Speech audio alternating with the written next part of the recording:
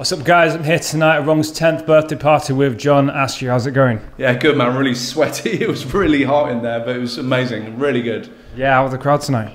Unbelievable. I mean, it was uh, it was absolutely amazing. Um, it's always fantastic. It's great to be back in Victoria Warehouse. It was electric. You know, there's there's been this certain energy with all the crowds since COVID reopened, and. Uh, yeah, tonight was fucking mesmerizing. I mean, uh, you know, like Will and I play very different sounds, so I had no idea what a back to back with him would be like.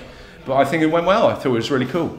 Yeah, sounded great. Yeah, thanks, man. So, your history with Rong? Yeah, you played for Rong before? Yeah, I've played for Rong uh, more times than I can remember. But, you know, Barry and James are very close friends of mine, love them to bits.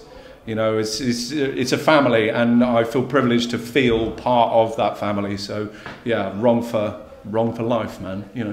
What do you think sets Rong apart as a trance brand from others? Do you know what I think? There's a I think there's a really strong sense of community in Rong. Um, you know, you see the f- same faces. Although the, tonight there was a lot a lot more young people in as well. You know, there were a lot of new faces in, um, but you know there is a real sense of community. It's a chance for people to meet up and have shenanigans and these kind of relationships that evolve around trance music and clubbing and you know, I've just been hanging out with two friends of mine who got engaged um, on the dance floor at one of my gigs, and and you know stuff like that. Uh, music really genuinely does bring people together, and I think Rong is sort of like the epicenter of the trance scene and that sense of community within the UK. Yeah, I fully agree, especially as you know a lot of the UK you don't get that much of a trance scene. It's Rong, Rong, Rong is. Uh, bit of a pioneer. Yeah, for sure. I mean, trance is kind of a niche market around the world. Generally, it, it is sort of like a it's a small corner of the electronic music scene, but you know, fuck, it's the one I love, and you know, just talking about it now, look, yeah, you know, sort of. Uh, okay, so give us your best Rong moment from the past ten years. Um, tonight was pretty fucking special. I have to say, when we did seven, I would say when we did seven, here uh, uh, in the warehouse uh, was probably my favourite, but um,